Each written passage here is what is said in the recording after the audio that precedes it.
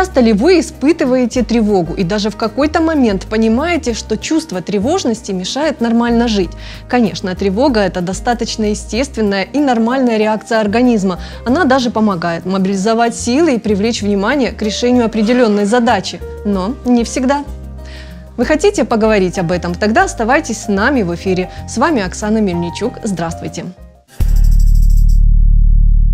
Тревогу в своей жизни испытывают, безусловно, все люди. Нормально волноваться из-за кризиса, коронавируса, например, смены работы или места жительства. Но когда тревога копится и становится постоянным спутником в жизни, то стоит немного остановиться и разобраться. Об этом поговорим с психологом Анастасией Каленовой.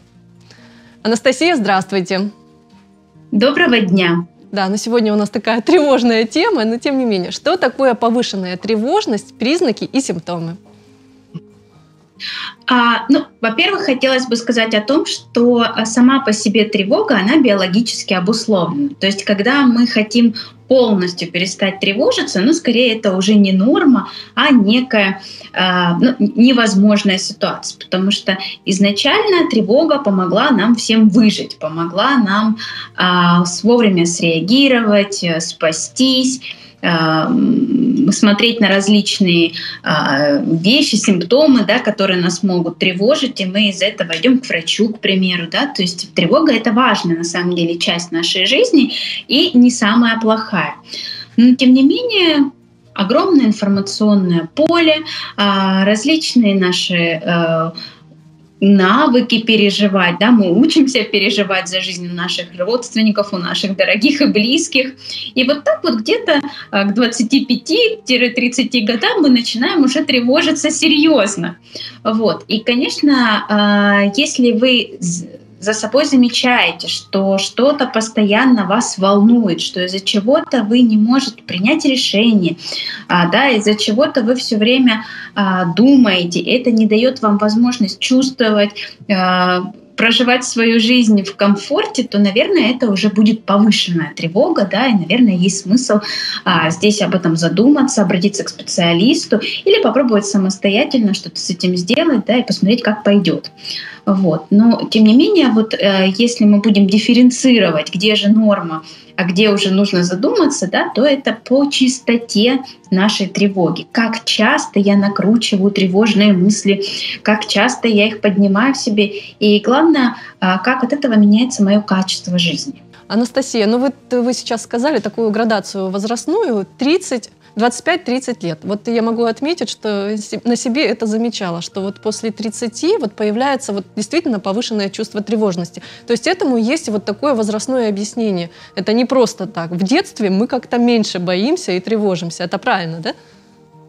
Ну, совершенно верно. Дело в том, что в детстве мы еще и не знаем, чего нам бояться. Да? Ребенок, он а, боится абсолютно понятно с точки зрения, опять же, биологии вещей. Ну, к примеру, он боится темноты, потому что понятно, что а, неизвестно, что там а, в этой темноте а, находится. Или он боится высоты, ну что тоже то биологически обусловлено. Или громких звуков, к примеру, ребенок может бояться, а, что тоже, ну, в общем, э, достаточно понятно. Но мы начинаем подрастать.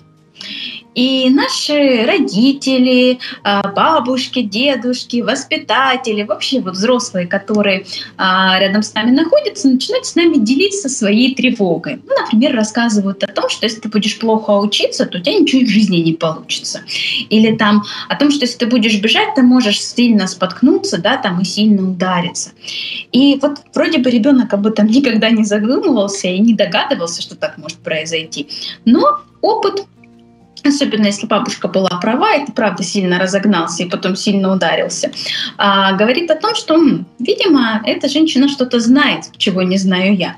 И я начинаю более доверительно относиться к ее словам. Следовательно, когда а, дело доходит уже до накопления различных тревог наших родных и близких, вдруг у нас появляется такая некоторая корзинка, да, где я точно знаю, а, чем мне заниматься, как, когда, как мне бояться э, и так далее.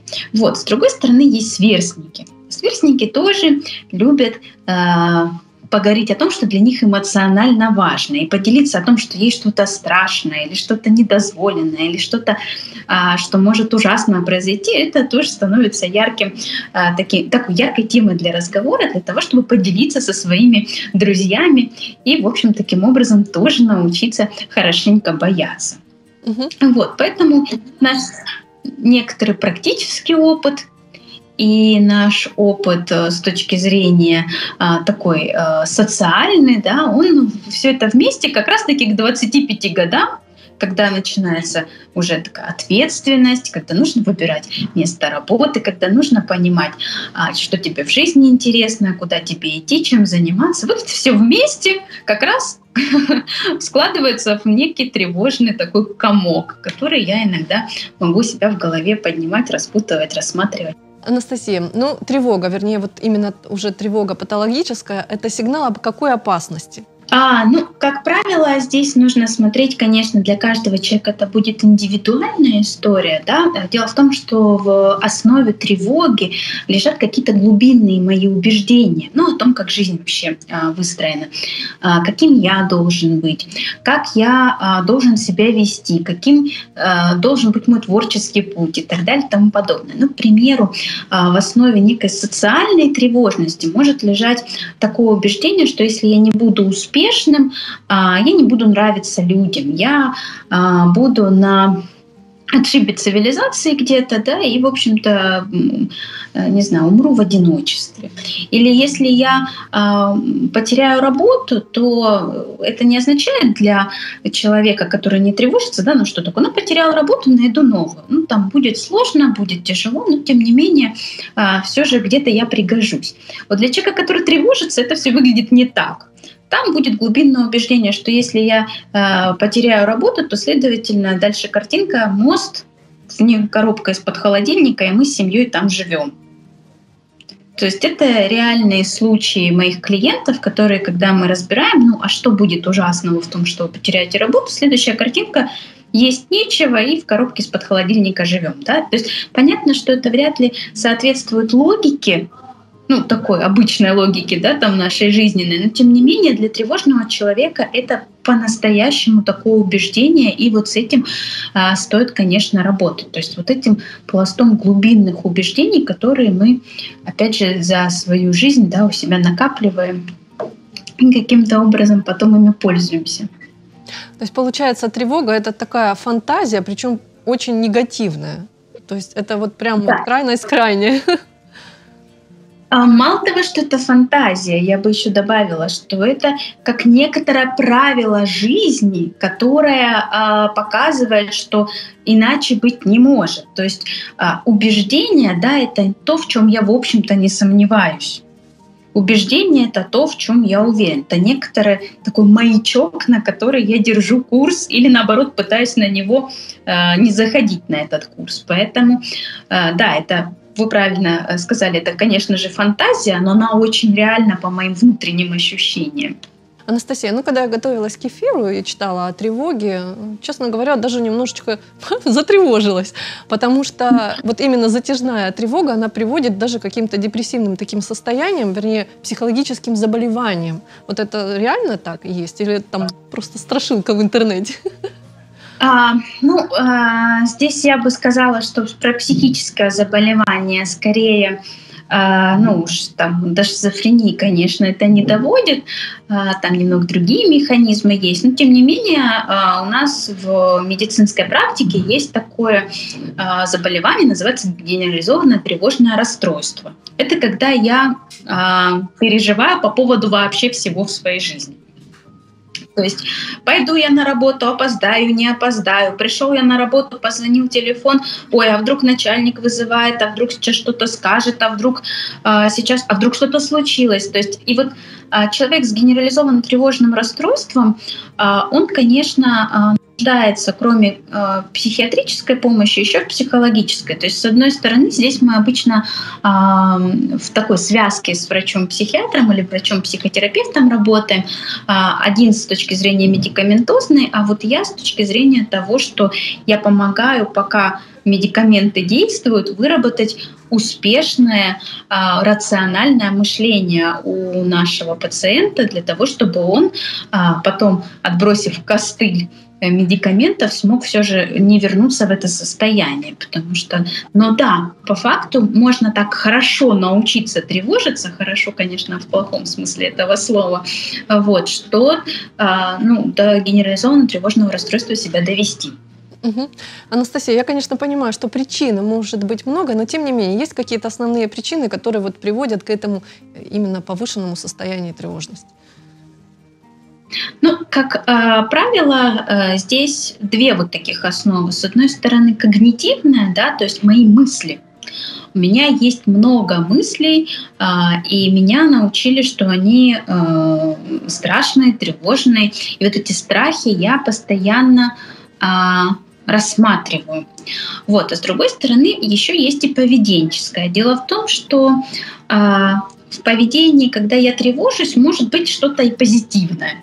Ну, к примеру, мои родственники могут а, сильно меняться в отношениях ко мне, когда я начинаю сильно тревожиться. И как-то начинают чаечек подносить, обращать на меня внимание. И это тоже может стать, ну, таким, знаете, как позитивной подкормкой моего такого тревожного состояния. То есть это не помогает мне на самом деле иногда справиться, а наоборот становится, ну, таким, как призывом о том, чтобы обо мне позаботились и так далее. Поэтому Поэтому здесь стоит рассматривать тревогу с точки зрения двух таких больших пластов моих мыслительных, да, когда я а, свою мысль как жвачку, да, вот я ее кручу в голове, кручу, кручу, и чем дольше я ее кручу, тем больше эмоционально страха я получаю. А, и с другой стороны, вот поведенчески, да, научиться уходить от этого. Угу. Анастасия, а вот, э, кстати говоря, о мыслях, вот они действительно, почему-то э, замечала такую э, тенденцию, что эти мысли почему-то приходят все время в вечернее время или ночью. В этом есть какая-то суть?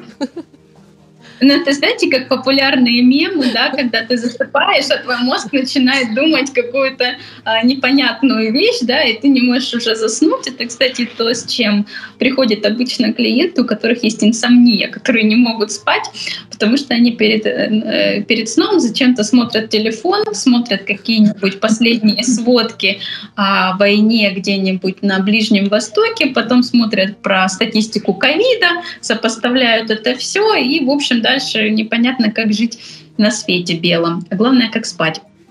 Вот. А, да, совершенно верно. Здесь э, вечернее время обычно, когда мы уже переделали все дела и нам не на что отвлекаться, а, может появляться такой момент, что а мозгу все равно он все время что-то делает, он все время обрабатывает информацию. Коли нет актуальной информации, чтобы ее обработать, буду-ка я обрабатывать то, что я давно привык обрабатывать, ну, например, свои тревоги. Поэтому, конечно, в вечернее время э, стоит обратить внимание на то, чем я занимаю свой вечер. Это не значит, что я всегда продуктивен, но это значит, что, допустим, я получаю некие удовольствия по вечерам, читаю хорошую книжку, да, мысль мыслью выпивается здесь. Это очень полезная такая история, да, клин клином. Вот. Или я это время провожу с детьми со своими, или я со своим любимым человеком общаюсь. Ну, почему бы вечером э, с ним, в общем, не провести это общение? Поэтому здесь э, может быть много всяких приятных таких дел, которыми мы можем а, отвлекать себя от этих ненужных мыслей. Анастасия, ну самое главное, что утром все проходит. Это хорошо. А потому что утром бежать надо, некогда думать, Нет, понимаете? Надо быстро собираться, кушать кашу и бежать. Да. Анастасия, опять же, я читала в интернете, что тревога может быть врожденным чувством. Вернее, она заложена с рождения у людей с определенным психическим ну, укладом. Вот скажите, это так?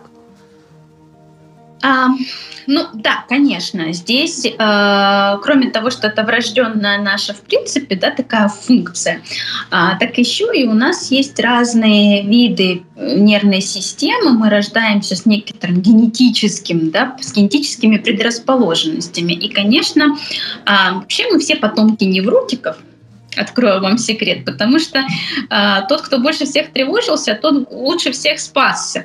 А коли он лучше всех спасся, то он больше потомства дал, понимаете? Поэтому мы, в принципе, ну, э, потомки в основном тех, кто много тревожились. Поэтому, конечно, а есть типы нервной системы, допустим, которые ну, более восприимчивы к тревоге, да, назовем это так. Это не значит, что это патология и есть исключительно тревожащиеся люди или нет.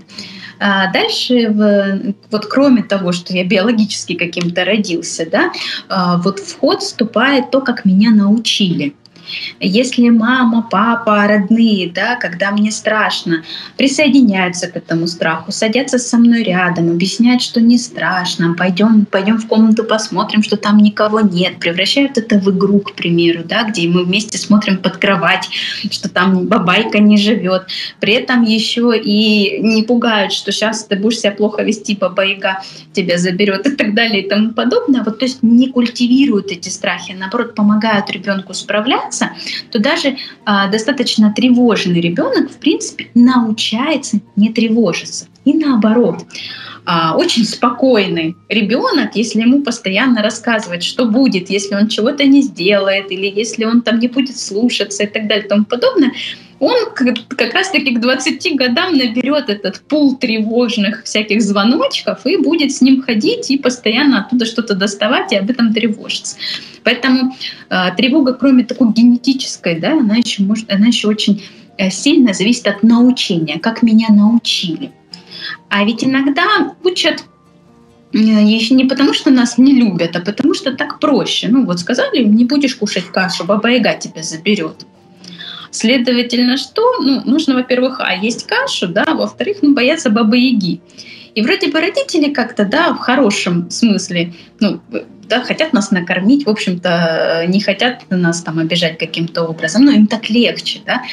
Но при этом после этого остается еще некоторое послевкусие того, что я не в безопасности, даже, допустим, у себя дома, да, потому что тут не поел, и сразу тебе все украдут, съедят, не знаю, что делает Баба Яга. Анастасия, ну здорово, что тревогой можно э, управлять, это радует. Управлять можно вот в детстве, да, научить. Можно ли во взрослом возрасте ею управлять? А, совершенно верно. Это, в принципе, то, что делает хороший а, психолог, психотерапевт у себя на приеме. Он-то, в общем-то, научает своего клиента останавливать себя во время тревоги, а главное а, ну, работать с, той, с теми причинами, которые в основе ее, да, вот эти убеждения лежат. То есть, с одной стороны, мы учим нашего клиента а, перенаправлять свое внимание и я сегодня дам по этому поводу упражнение такое на домашнее изучение – а с другой стороны, мы можем а, дальше работать с тем, что лежит в основе этой тревоги. И тоже по этому поводу сейчас расскажу про некоторые упражнения. Итак, когда вы попадаете в ситуацию, и вы не сразу понимаете, что вы на самом деле тревожитесь, вы как бы а, ловите себя на тревоге тогда, когда уже эпицентр произошел, да, когда вы уже находитесь а, в эпицентре событий, в эпицентре своих переживаний. Первое, что нам нужно сделать, это остановить себя. То есть мы с вами каким-то образом должны перенаправить свое внимание с мыслей о том, что, которые крутятся у нас в голове, на что-то совершенно иное. Ну, к примеру, а, иногда клиентам помогает там, кому-нибудь позвонить и с кем-нибудь что-нибудь обсуждать. Вообще отлично от того, что меня э, тревожит. А это менее социальный, ему это не помогает. И тогда мы подключаем свой другой анализатор, ну, допустим, слуховой, да, можно переключиться на какую-то любимую музыку, послушать плеер, да, и, в общем-то, а, тоже в этот момент очень так хорошо углубиться. А, но если вы вдруг еще и со слуховым э, восприятием не очень, да, то, возможно, вы кинестетик. И тогда есть смысл перевести свое внимание на что-то, а, что связано с вашими ощущениями. Ну, к примеру, есть несколько упражнений здесь. Можно взять, а, сейчас на э, улице снег, а можно взять лед из а, морозилки, да, положить его на ручку, прям покатать его и попробовать сконцентрироваться на тех ощущениях, а, которые создает вот сама ледышка да, на теплой руке. То есть таким образом вы все внимание как бы из головы, все эти мысли, которые есть, вы переводите как раз-таки на вот эти ощущения. Это помогает нам немножечко выйти из ситуации переживаний и посмотреть на нее со стороны. А другой момент, который есть, он такой вкусный, можно взять какой-нибудь любимый напиток, там, не знаю, чай, кофе, какао, ну, не алкогольный, естественно. Вот. Взять какую-нибудь печеньку, да, и попробовать отнестись а, к этой еде, как будто вы первый раз видите в жизни, да, и как будто вы ее пробуете, понюхать, да, попробовать полностью проследить то, как э, на своих ощущениях, да, то, что, какие вызывает это ощущение ваш э, напиток. А наша задача не просто выпить кофе и дальше думать о том, что меня тревожит, да, а именно переключиться на ощущения от того, что происходит. Тогда это поможет, опять же, выйти из этой э, ситуации. Вот все равно все в жизни взаимосвязано, да, и хорошо бы научить нашего тревожного человека эти взаимосвязи строить. У школе есть как какая-то проблема по работе, да, к примеру, и вы на основе этого тревожитесь, ну, скорее всего, разные проблемы бывают в жизни, и так или иначе люди их решают, да, и на работе, наверное, ну, а, тот не ошибается, кто ничего не делает. То есть мы рассматриваем, насколько это глобально. И, о чудо, иногда мы понимаем, что то, из-за чего я а, тревожусь, это не самое страшное в жизни. Да? Ну, к примеру, я тревожусь из-за работы, но при этом не понимаю, что меня мой ребенок, что у меня прекрасные отношения с моей второй половинкой, да, и что для меня, а, ну, в принципе, даже если там на работе произойдет какой-то коллапс, ну, главное в моей жизни ничего не изменится, да, то есть мы таким образом работаем с вот этими мыслями, да, и пытаемся а, найти рациональное зерно в своей тревоге. И если его нет, то тогда стоит от нее отказаться. Угу. Анастасия, ну это больше такие эмоциональные маневры, да, на них тоже и нужно время какое-то, а есть какие-то, может быть, на физиологическом уровне, это вот там быстро подышать, я не знаю, ну вот какие-то, да, ну вы поняли, да, о чем я говорю, дыхательные да. упражнения, я не да. знаю, которые да. помогут быстро справиться. Есть замечательное дыхательное упражнение, а есть еще на физиологии очень хорошо действует тренинг релаксации. А дыхательное упражнение одно, наверное, из самых таких распространенных в этом отношении, называется дыхание по квадрату. А, когда вы, у нас в мире все квадратное, если вы не замечали, и вы смотрите на какой-нибудь квадрат в этой комнате, там, в которой вы находитесь, или если вы идете по улице, вы видите здание, оно как минимум квадратное, да, и вы смотрите на верхний а, левый угол и на 4 счета вдыхаете. Раз, два, три, четыре. Переводите глазки на а, правый верхний угол, задерживаете дыхание на те же самые 4 счета, очень легко запомнить. Потом глаза опускаете вниз, на нижний правый угол, выдыхаете на 4 счета, и когда переводите глазки на последний, получается, левый нижний угол, вы как бы задерживаете дыхание на выдохе, тоже на 4 счета. Вот таких вот 3-4 круга позволяют нам полностью на физиологии восстановить дыхание, восстановить сердцебиение. И, в общем-то, когда вы считаете, вы тоже немножечко от своих мыслей а, отодвигаетесь. А если тревога переходит уже, ну вот как говорится, на соматический уровень, то есть ваше тело уже полностью реагирует на это тревожное состояние, и вы понимаете, что вы тревожитесь от того, что вас всего уже сжало, плечи поднялись, то здесь есть хорошая такая по Джекобсону релаксация. Она, знаете, довольно классическая, ей уже много десятков лет, но она работает до сих пор, когда а, наш а, тревожащийся может прийти, сесть, допустим, на стул, или лучше, если он дома, он может лечь, там, знаете, в позе удобной звездочки, вот, и поочередно а, напрягать мышцы ну, сначала правой ноги вот полностью, да, там с носочка, переходя чуть выше.